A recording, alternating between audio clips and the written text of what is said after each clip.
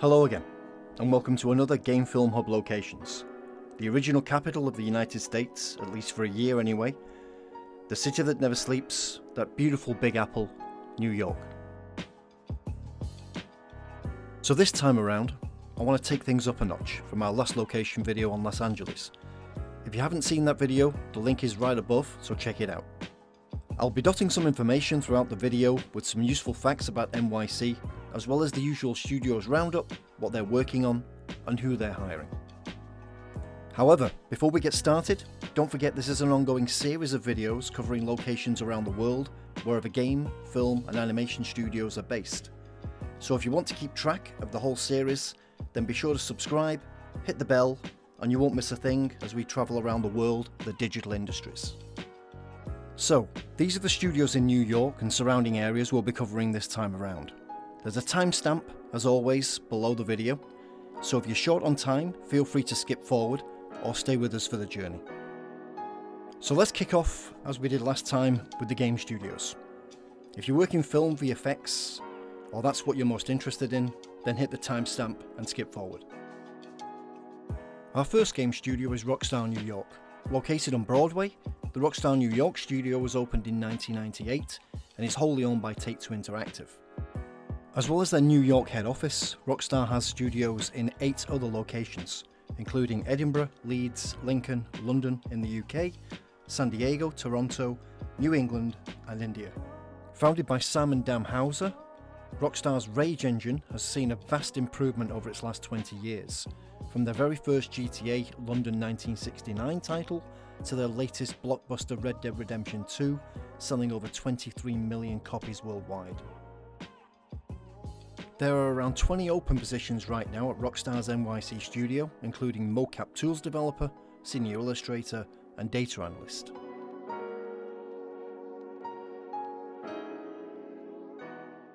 Next up is Avalanche Studios, based on Broadway. Originally founded in Stockholm, Sweden in 2003, the NYC studio was opened in 2011 and now has around 70 developers on site. Acquired by Nordisk Film in 2018, Avalanche are most well known for the Just Cause franchise, and have recently published their latest titles Generation Zero and Rage 2 with ID Software in their Apex game engine.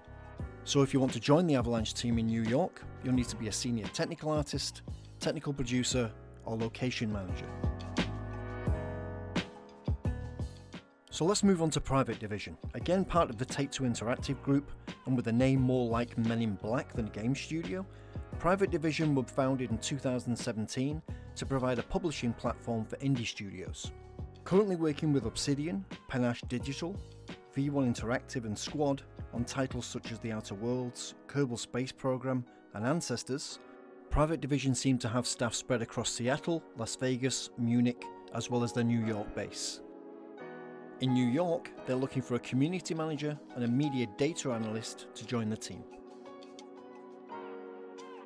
Gameloft, now in their 20th year and primarily a mobile game development studio as well as a publisher, have over 5,000 staff globally with their headquarters in Paris.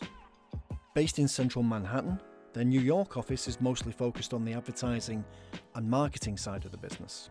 With a huge catalogue of titles, Gameloft are a giant in the mobile game space and show no signs of slowing down.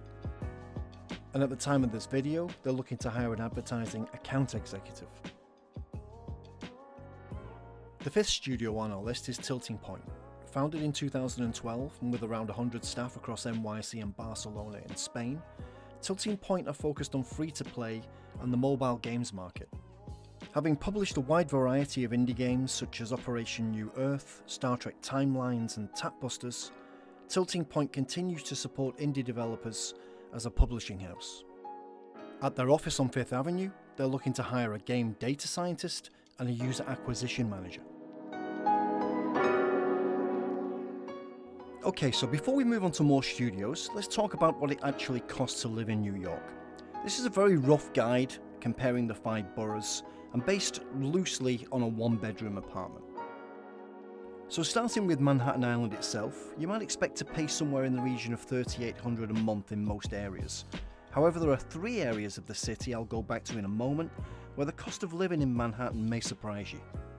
However, living just outside of Manhattan in locations such as Brooklyn may be a more cost effective option, with an average one bedroom apartment costing around $2,500 a month.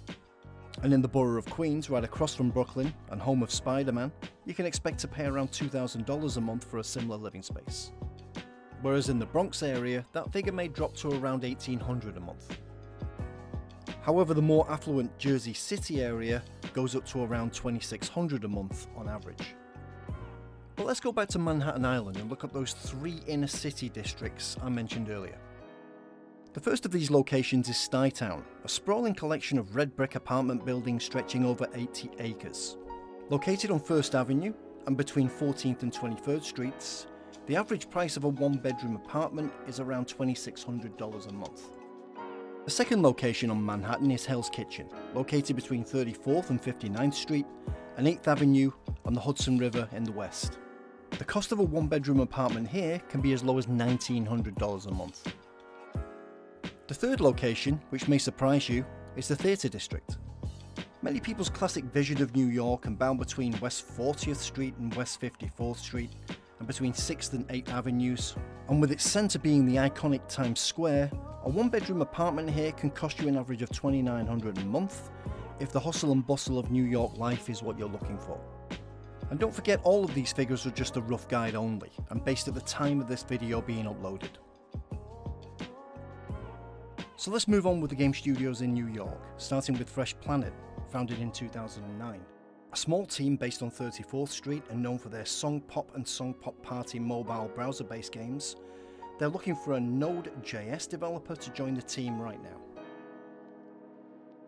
Muse Games, another small indie team based in Koreatown and known for titles like Hamsterdam for mobile and Guns of Icarus for PC and console, are currently looking for a gameplay programmer to join the team. Playdots have around 60 developers at their studio in the trendy meatpacking district and produces simple, challenging dot-based mobile games such as Dots, Two Dots, and yes, you guessed it, Dots & Co. So if you're a senior Unity developer, you should look them up. BrainPop, founded in 1999, are based on West 23rd Street and are focused on e-learning content. Spread across two locations, New York and Tel Aviv, at the New York studio, they are looking to hire a front-end web developer and a processing manager. So the next of our studios in Manhattan is the mighty Take-Two Interactive themselves. Founded back in 1993, an owner and publisher of Rockstar Games, 2K Games, Private Division, Ghost Story Games and Social Point, and publisher of a huge catalogue of award-winning franchises, Take-Two has certainly earned their reputation as one of the greatest publishers of games in the last 25 years. At their New York studio, they're looking to hire a senior data scientist and a senior systems engineer, as well as 20 other positions. Okay, before we move on to our final studio list, let's cover a few facts about New York you might find useful. The population of New York City itself in 2019 is around 8 to 9 million, and if you include the outlying boroughs and the entire metropolitan area, the number jumps up to around 20 million, making the largest populated area in the entire United States. With around 6 million commuters travelling in and out of Manhattan every single day and an estimated 60 million tourists visiting each year, that makes for one very busy city.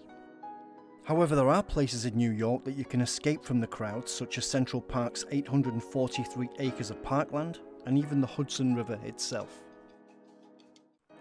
Okay, let's continue with our list of game studios, starting with King, based on Hudson Street in the Soho area of Manhattan.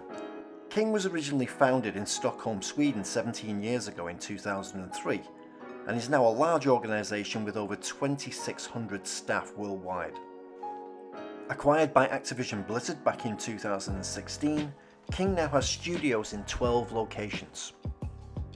Famous for their Candy Crush Saga, Legend of Solgard and Bubble Witch Saga titles, King now has the Crash Bandicoot games to add to their never-ending list of mobile entertainment. So that wraps up our list of game studios for Manhattan and New York.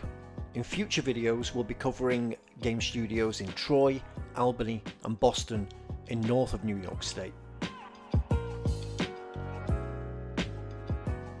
So finally, our shortlist of film and VFX studios in New York, starting with Framestore. Founded in 1986 in London, England, Framestore now has over 2,000 staff across six locations. Consistently creating a high level of content in film, immersive entertainment and advertising across its 34 year history, Framestore's list of features are endless. If you're a matte painter, lighting TD, or just want to work with them in their New York studio, then apply through Game Film Hub. Marvel Entertainment, based on 6th Avenue and part of the ever-growing Disney Group since 2009, are of course most famous for their comic book superhero franchises. With around 1200 staff across their two studios in Los Angeles and New York, they're currently looking for an audio producer in NYC.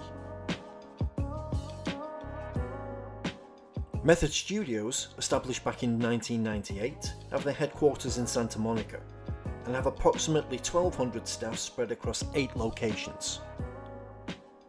Working in both advertising and feature films, some of Method's recent projects have included Men in Black International, Ford vs Ferrari and Top Gun Maverick.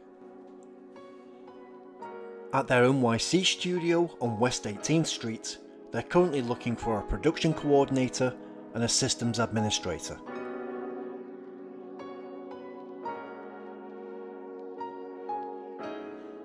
So, that wraps it up for this locations video.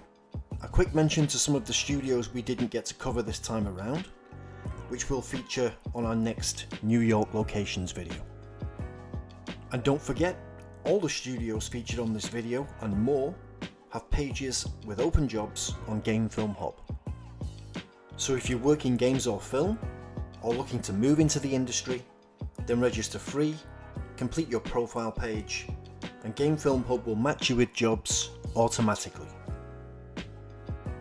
So next time around, in December 2020, we'll have a new host who will be guiding you through games and film studios in London, UK, and the rest of the locations series.